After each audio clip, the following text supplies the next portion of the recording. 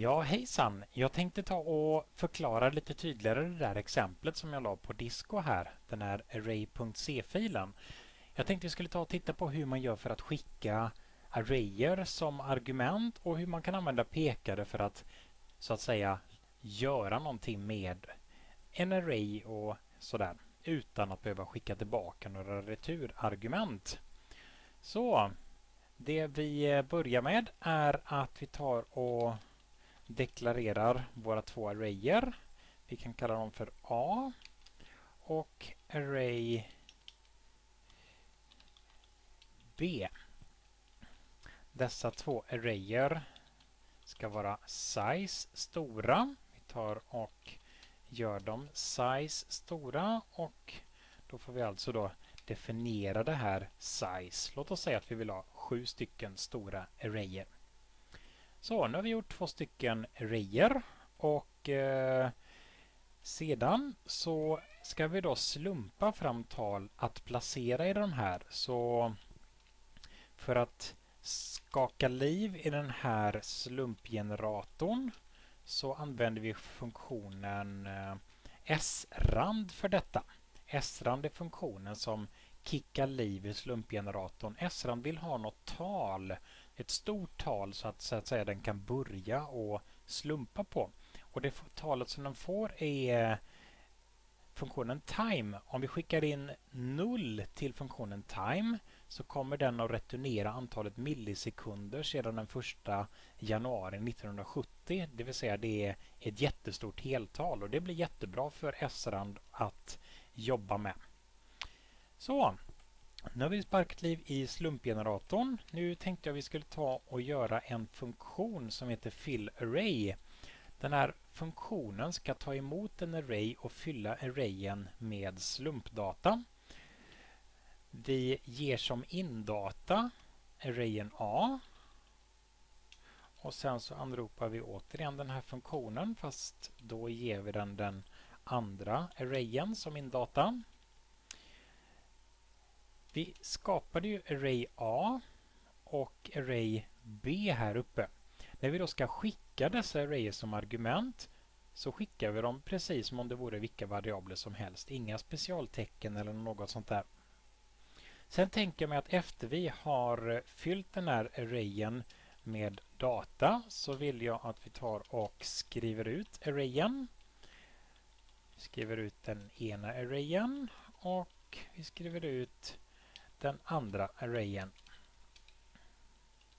På samma sätt där så ger vi bara print array-funktionen array A som indata och sen array B som indata.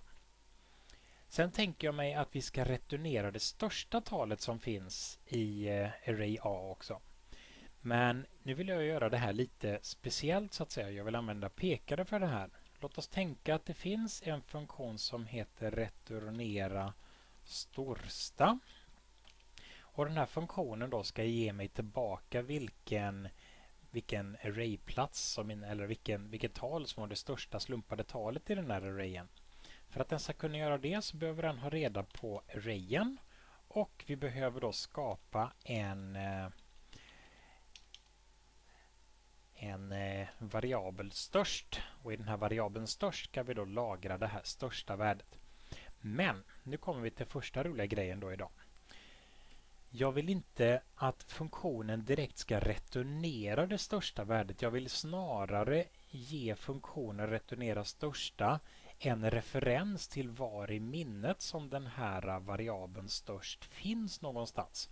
Sedan kan funktionen i sig placera rätt tal i den variabeln och jag behöver inte returnera någonting ifrån den här så det jag vill göra är att berätta alltså adressen till den här variabeln störst. Det gör jag på det sättet. Jag ger alltså funktionen arrayen som indata och adressen till störst. Det vill säga den där integern.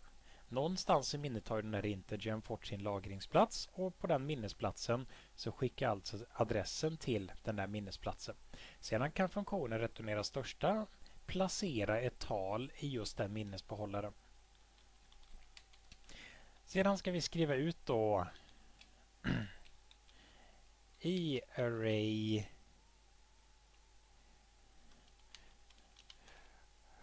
A, vi kan väl döpa den som den hette egentligen,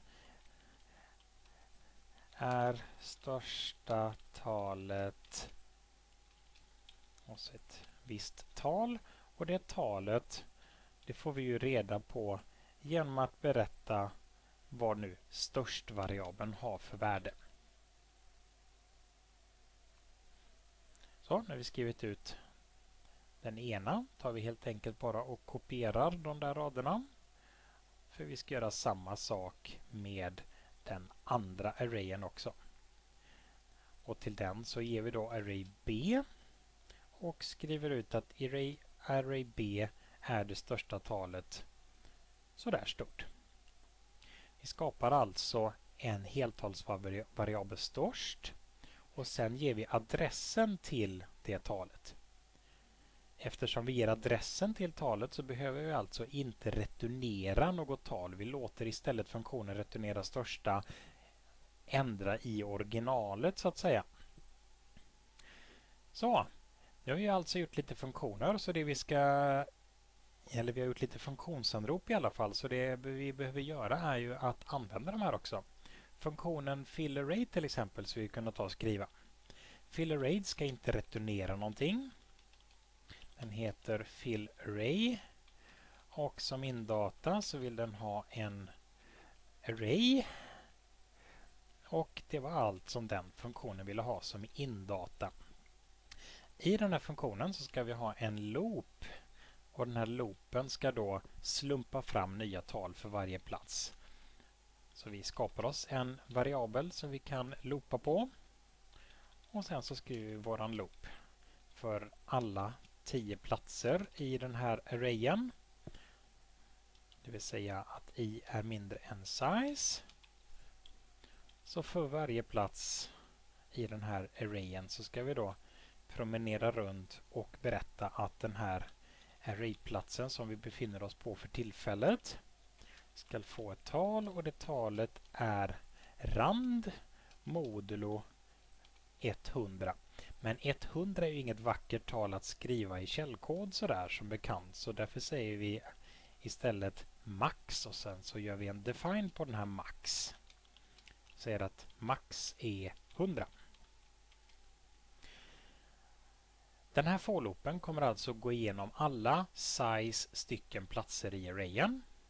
Och för varje plats, 0, 1, 2, 3 och så vidare, kommer den att slumpa ett tal som maximalt är max, det vill säga 100. Med andra ord, den slumpar ett tal mellan 0 och 100 och placerar det här talet i arrayen. Sen ska vi ha en funktion som skriver ut arrayen också. Funktionen som skriver ut arrayen kallar vi för printArray. Den får även den som indata en array bestående av heltal. Och eh, de funktionerna liknar varandra relativt mycket.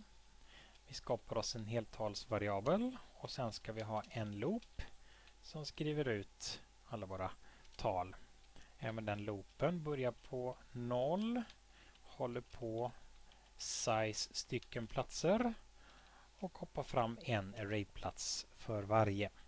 Och det den ska göra i den här funktionen är att skriva ut dels position och dels innehåll i den. Så vi tänker oss att vi skriver ut position, en tab, ett streck, en tab och sedan själva talet. Och så skriver vi ut ett nyradstecken också för läsbarhetens skull.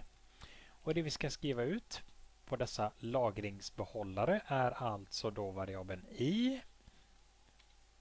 På andra lagringsbehållaren ska vi skriva ut innehållet i minnescellen, det vill säga det som finns på plats i i arrayen.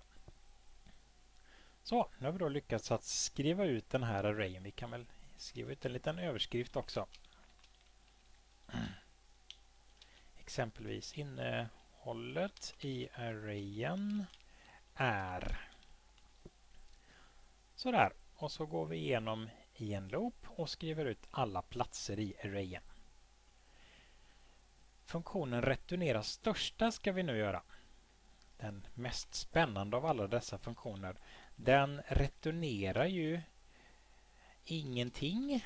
Därför returnerar den då något av typen void. Indatan till den här. Ja, först ska den då få en array. Och därefter arrayen så skickade vi ju här nere som bekant en adress till en variabel. Det vill säga vi gör en pekare till en variabel. Så nästa sak som vi skapar här uppe är då en pekare till en lagringsplats i minnet. Tanken är nu att vi ska då loopa igenom den här arrayen och hitta det största värdet.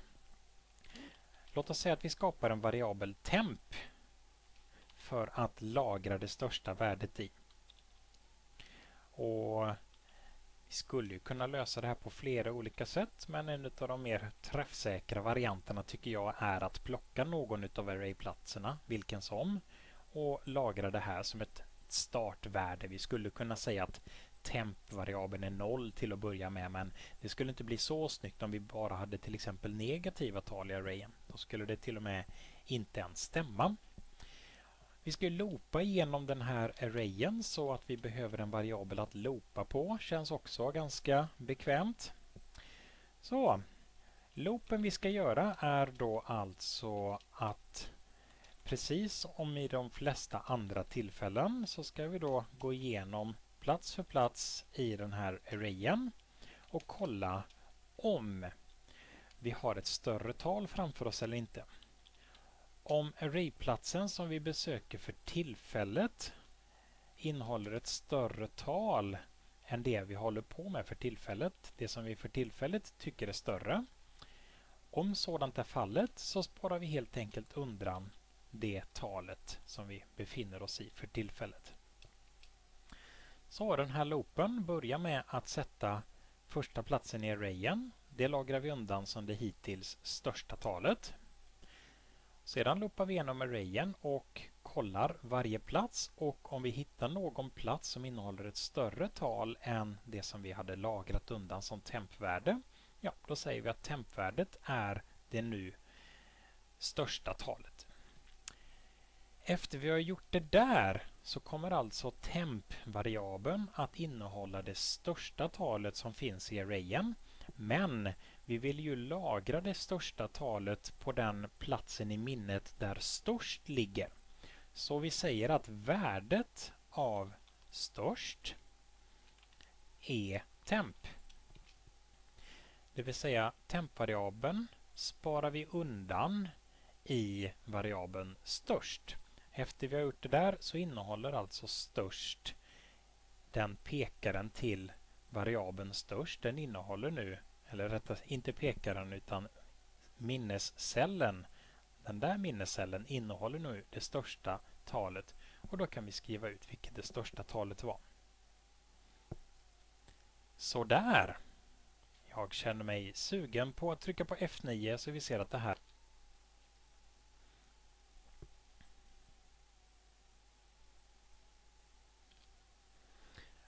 små detaljer var jag tvungen att ändra. Jag kallar den här funktionen för returnera största och inte störst. Och sen för att bli av med lite varningar så har jag dessutom inkluderat time.h i och med att vi använder funktionen time och så har inkluderat filen standardlib.h eftersom vi använder där time-funktionen och där srand-funktionen. Så nu borde vi kunna kompilera det här utan frågetecken. Vi tittar på loggsrutan. Vi ser att vi har kompilerat det utan fel och utan varningar. Så det är väl dags att köra hela balletten då. Och här ser vi att det faktiskt fungerade. Innehållet i arrayen, ja där skriver vi ut alla saker som finns i arrayen. I den ena arrayen och i den andra arrayen. Och sen så skriver vi där nere då att i array A är största talet 86 om vi tittar på innehållet i array A så ser vi att 86 faktiskt är det största. Och i array B så säger den att största talet är 91 och tittar vi i array B så ser vi att största talet faktiskt är 91.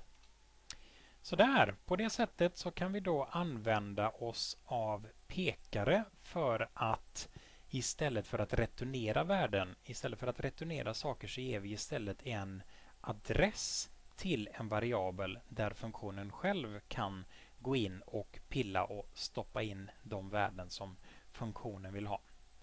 Och eh, det där var ungefär det jag ville visa er så tack för uppmärksamheten och hoppas att ni lärde er någonting.